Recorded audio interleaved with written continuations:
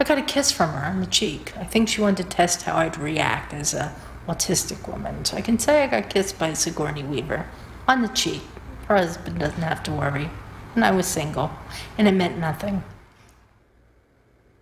She's a good kind of woman.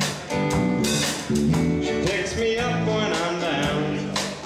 She's a good kind roll down, it would be different.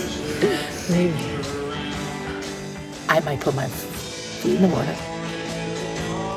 And all day long, young women would sling hammers, lug wood, pull stone, paint, and fix up buildings that should have been condemned.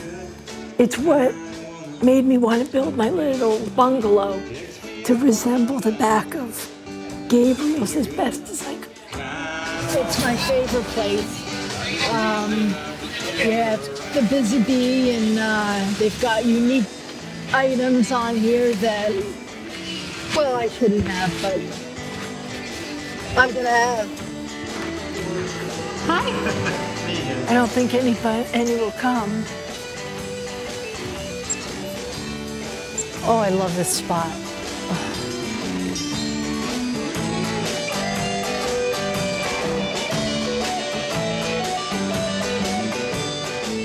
I want to introduce to you my friend Michele DeMeo.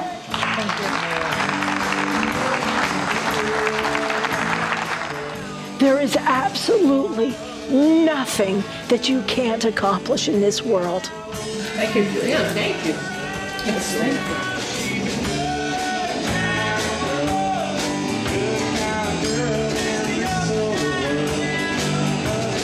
I look at her face and I know what she's thinking.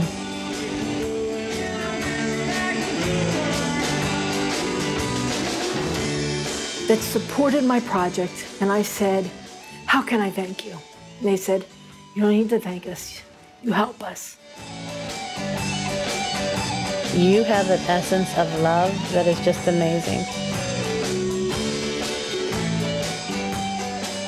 You know, when you're told you have seven to eight months to live in 2010 and you're still around, you can let secrets out. ね。